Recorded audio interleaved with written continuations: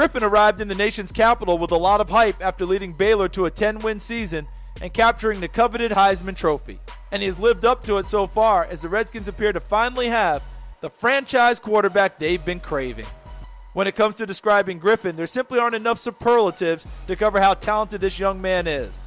But his success came at an unconventional place. After all, Baylor is not considered a football power, and Griffin admits that committing to Baylor was not his first choice. I don't want to sound bad, but um, you know, I was a big track guy, and I wanted to run uh, track and play football. Um, so I didn't know very much about Baylor. Uh, I learned mostly about Baylor through Michael Johnson and, and, guys like that in track, track and field. And when Coach Briles took the job here, that's when I really started uh, paying more attention uh, to Baylor University.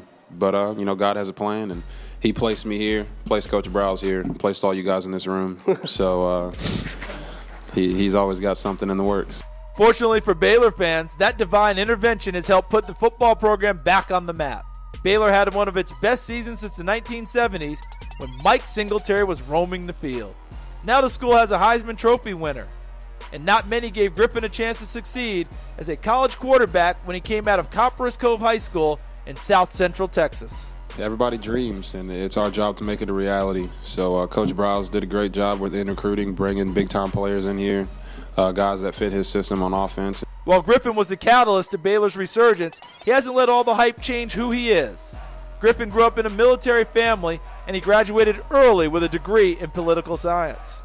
The thing about football and life, you have to, you know, just focus on the little things, and uh, the big things will fall into place. Uh, take control of what you can control, and then after that, after we get the win, then you can talk about Heisman and, and everything else. And Washington fans are hoping the Heisman is just the first of many prestigious awards Griffin can put his name on.